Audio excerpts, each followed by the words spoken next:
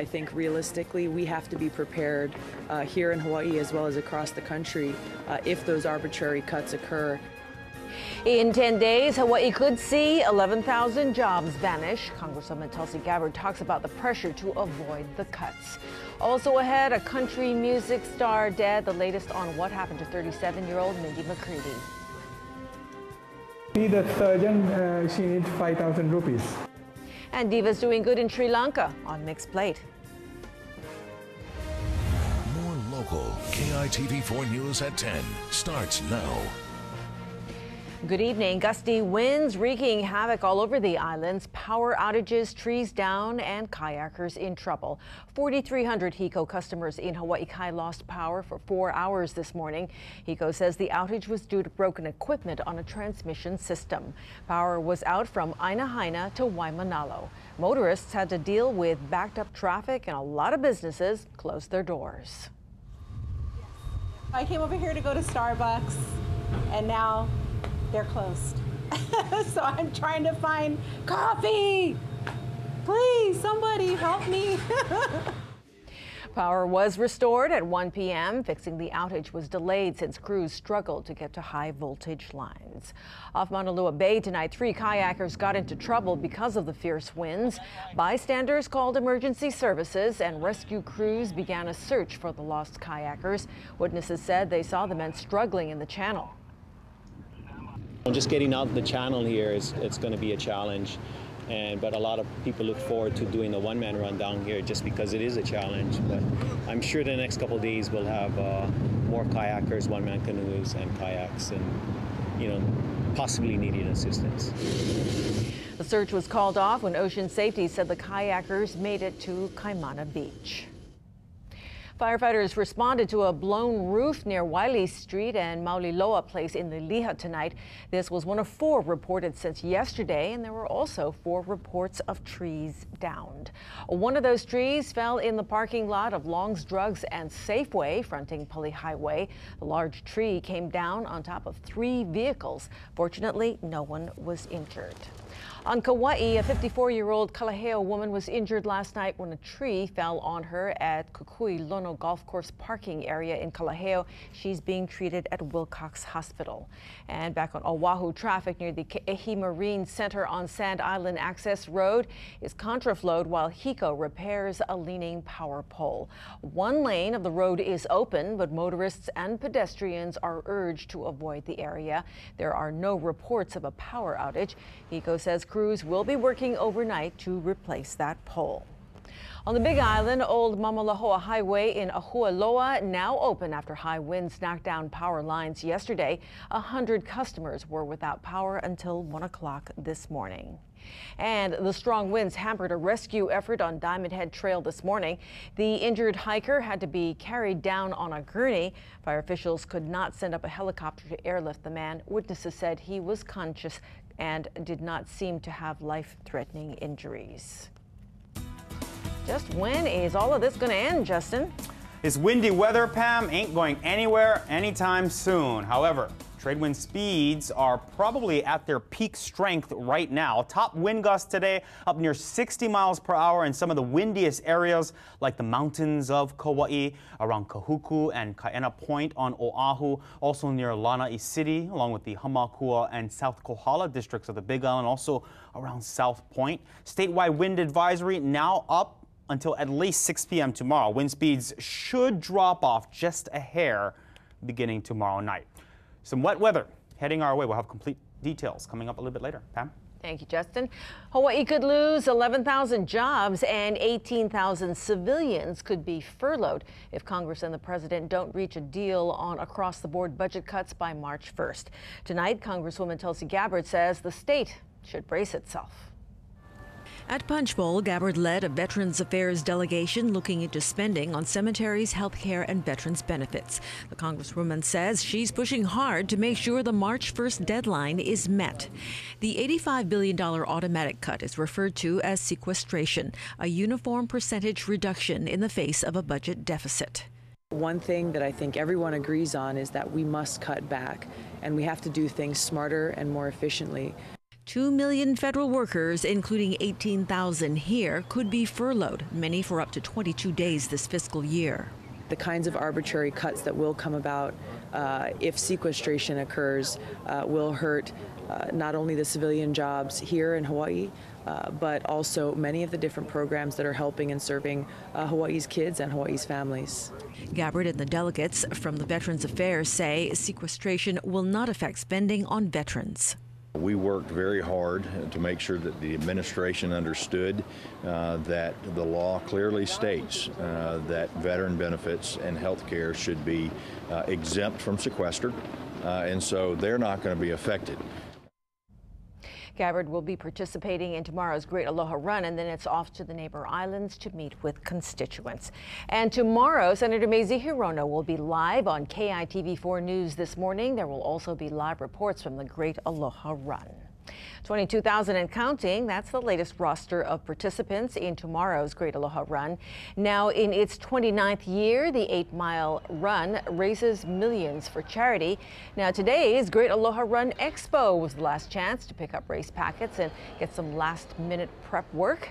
This year, the number of military participants is down, but the number of visitors is up. What's unique about this year is that we have a lot more um, foreign visitors. Um, of course, our mainstay is 90% local, which is what we live off of, and we're thankful for that.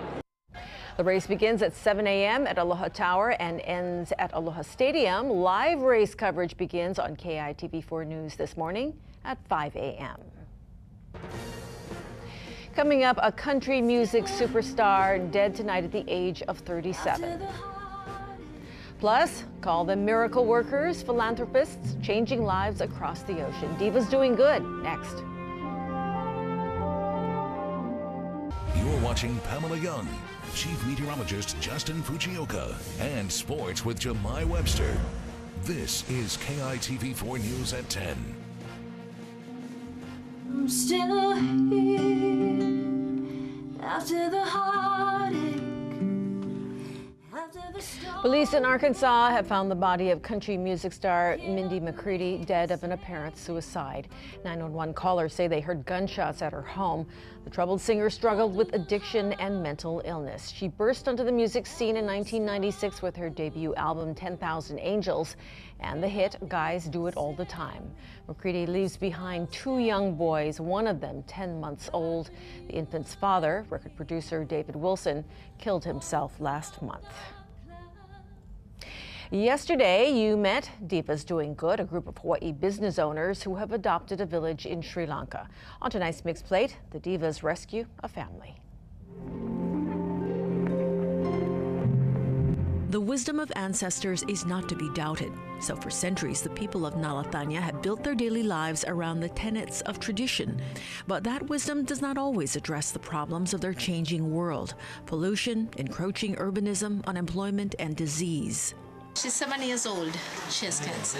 What kind of cancer? Uh, that I don't think the mother knows. Parents don't even really know like what that the kids are ill or what the illness is and how to correct it. So, um, you know, it's definitely kind of heartbreaking to see that. Joselima cooks three meals in her kitchen, which instantly fills with smoke whenever the kindling is lit. With no ventilation, she spends nearly all her day enveloped in fumes.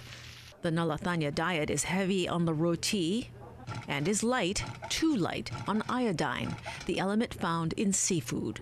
Inland villagers show a high prevalence of goiter, swollen thyroid glands, and Joselima's condition is among the worst. So it's a growth from the inside. Sometimes it's difficult for her to eat. Doctors in the city say Joselima must have surgery before her goiter cuts off her trachea and esophagus. But to see the surgeon, uh, she needs 5,000 rupees. Which husband, Tivi Yapanan, the village pastor, has no hope of ever raising in his lifetime. Then you could see all the emotion just open like floodgates. Mm-hmm. You know what I'm saying? You know, I can't live without her. I can't, especially because we're in the wedding industry, seeing how their love was so great. Mm-hmm. Although the divas have vowed to address only community problems, sometimes you just gotta break the rules. The way they talked about it, it just seemed like it was so hopeless. But when you do the math, it's $430. So we discussed last night your condition, and we decided that together we want to give you the money you need for your condition. Because together you are very strong, and we need you to be strong for the entire community has helped them for, for such a long time. I'll tell you, that was really a real moment in my heart that I will never forget. Giving that person life again.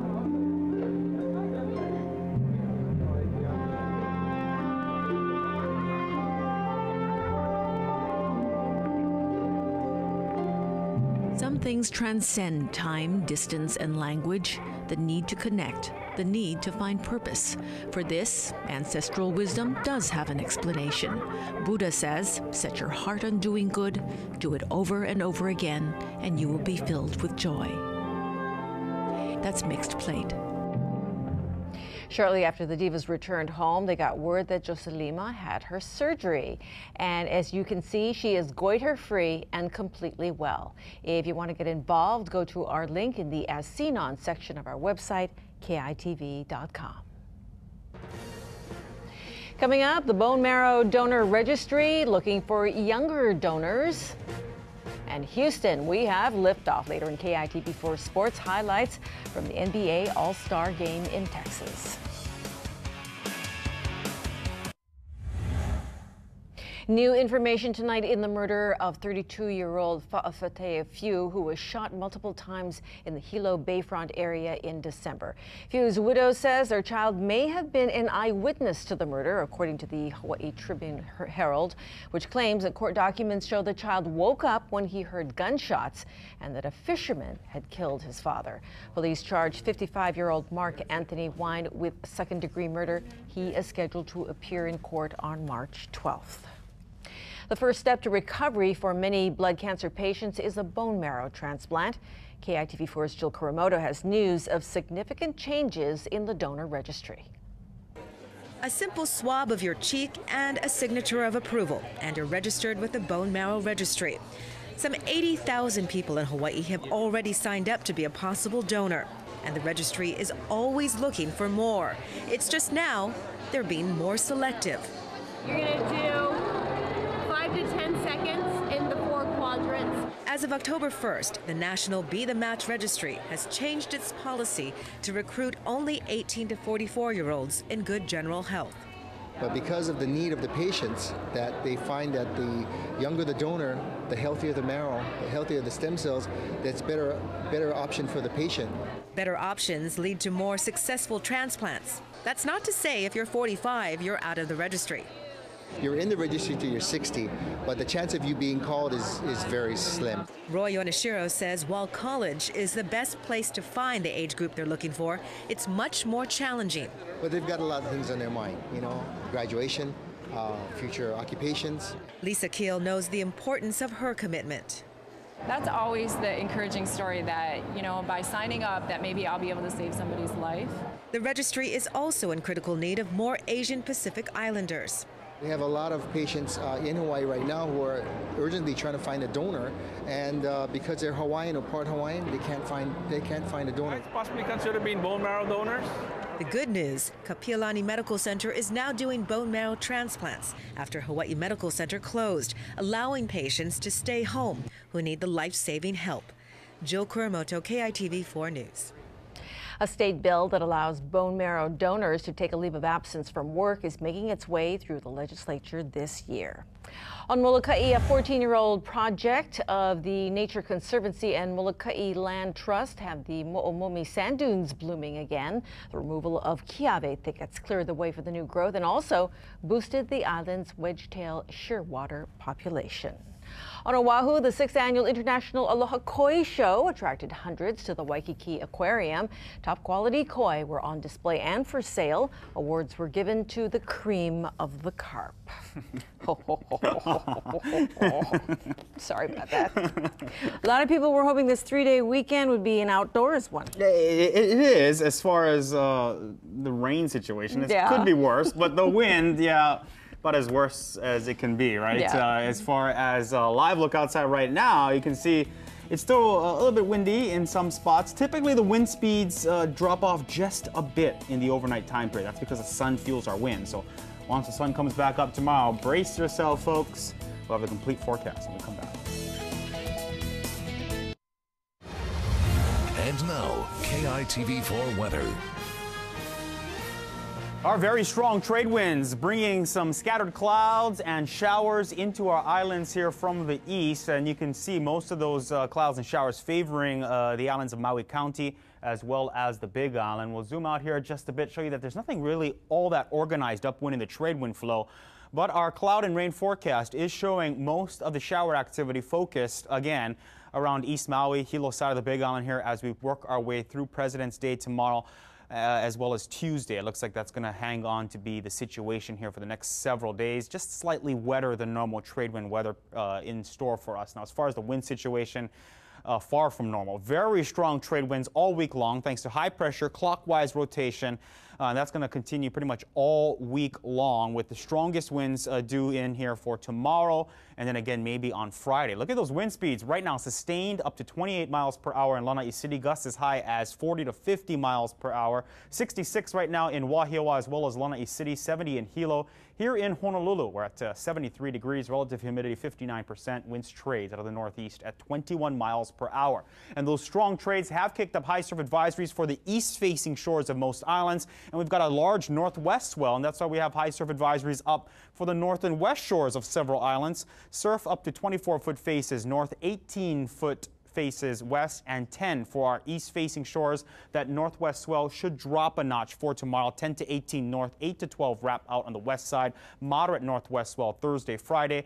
And mariners, gale warnings up for waters around Maui County and the Big Island. Small craft advisories everywhere else because of that large northwest swell, which will be declining throughout the day tomorrow. And again, those very strong trade winds at 20 to 35 miles per hour, sustained gusts up near 50, maybe even 60 miles per hour. Once again, in some of those windiest locations of Maui County as well as the Big Island. Don't forget, folks, statewide wind advisory in effect until 6 p.m. tomorrow. For those of you in the Great Aloha Run, at least you'll be running with the wind and not against the wind. 80 uh, our noontime temperature in Honolulu for tomorrow. And it looks like that wind ever so slightly backing off Tuesday, Wednesday, Thursday, ramping right back up on Friday. Friday, Saturday, by the way, could feature uh, wet trade wind weather. So watch out for that. Things could change, though, as we head into next weekend. So at least the rain Mm -hmm. not going to be a factor for the Great Aloha Run. And the winds the wind. might even improve their times. Yeah, exactly. With the wind, running with the wind. Thanks, Justin. Time now to go to Jemai and see what's coming up in sports. Three in the books in the Rainbow season opening series with Oregon, how they ended up on the wrong side of 16 hits. Plus, records come down in Vegas. But first, Danica Patrick becoming the first ever female to secure top spot for a sprint cup race, taking the pole at the Daytona 500, our play of the night. This is going to be a whale of a lap. But I think that Sprint Cup Series most popular driver award with Dale Earnhardt Jr. pretty much has been a lot for the last few years. Patrick started on the pole for the nationwide race here last year. And Danica Patrick has made NASCAR history. And now, KITV4 Sports. Welcome to Sports. Jemai Webster here with you.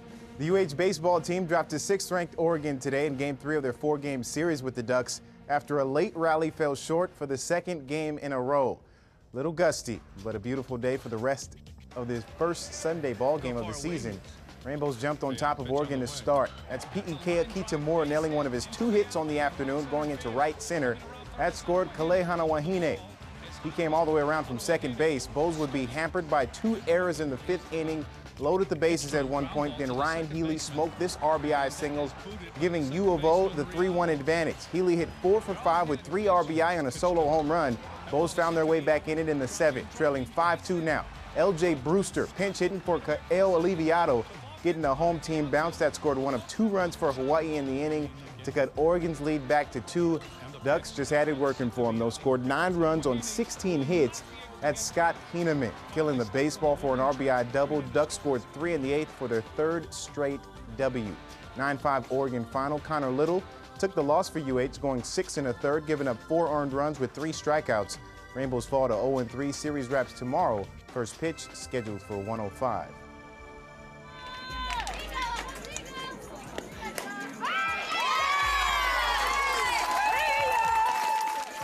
Final day of the Desert Classic Tournament in Las Vegas. Rainbow Wahine outfielder Charlotte Kliebenstein blasting her third home run of the tournament. Hawaii got past Utah Valley in game one of the doubleheader 3-1. Jessica Iwata hit two for four with that RBI. Kelly Majam broke the UH career record for runs scored to bring her career total to 188 today, breaking Tia Morin's mark set back in 1998.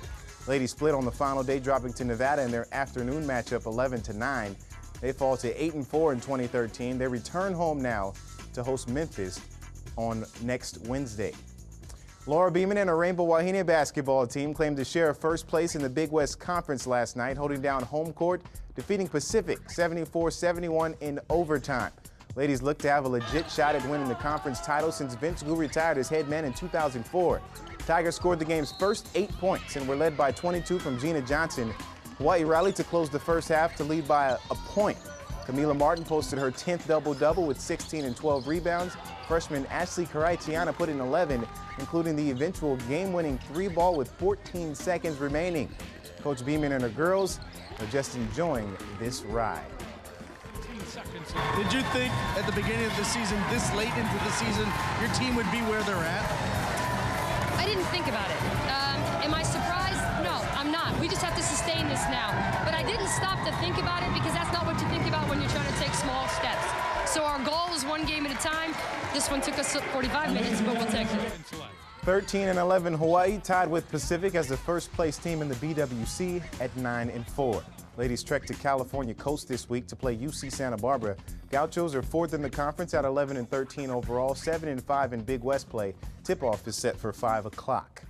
Sticking with the theme of ladies on the hardwood, that's Konawaena graduate, three-time Pac-12 Freshman of the Week, Lia Galdeira. She and her Washington State Cougars had a tough time with Oregon today. True freshmen able to poke away the steel, go coast to coast for two quick ones. Wazoo trailed 28-15 at the half. Here's Galdeira hitting her old high school teammate Danielle Awa for only two points of the game. Cougs outscored the Ducks 45-37 in the second half. Big Island girls coming up short, 65-60. Galdeira finished with a team-leading 19, but it came on 8 of 26 shooting. NBA All-Star Weekend in Houston, Texas concluded tonight with the best players in the Eastern Conference facing off against the top guys in the West. Defense, always optional in these affairs. Hoops always brings out Hollywood's and music's elite. J and B enjoying the festivities. East with three Miami Heat starters, Chris Bosh, Dwyane Wade, and LeBron. LeBron James throwing down the thunderous one-handed jam. Wouldn't be an all-star game, though, without a little Lob City. Blake Griffin soaring to end up on the other side of this oop from his teammate Chris Paul. And just appreciate this right here, folks. Kevin Durant going to the rack. Yikes. He scored 30, but most of his feeds came from CP3, rocking Joakim Noah to sleep. Paul became the first LA Clipper to be All-Star Game MVP, 20 points, 15 assists. West wins 143, 138. PGA Tour stopped off in Pacific Palisades, California this week. Final round of the Northern Trust Open. After forcing a playoff on the 72nd hole of the tournament, John Merrick went on to defeat Charlie Beljan on the second playoff hole for his first ever PGA Tour victory. Earns a spot in the Masters in April and nearly a cool $1.2 million. Isn't it amazing how the paychecks have gotten so big in golf? Looks like we're in the wrong profession. Yeah, I guess so. Raise your kid to be a golfer. I knew that a long time ago, Jemai. Just for the love of it, though. Right. Just for the love, that's all. Thanks a lot. We're going to leave you tonight with hot rods and hot rides from this afternoon's Wegfest Car Show at Ward Center. Have a good evening. Have a great week. Have a good week.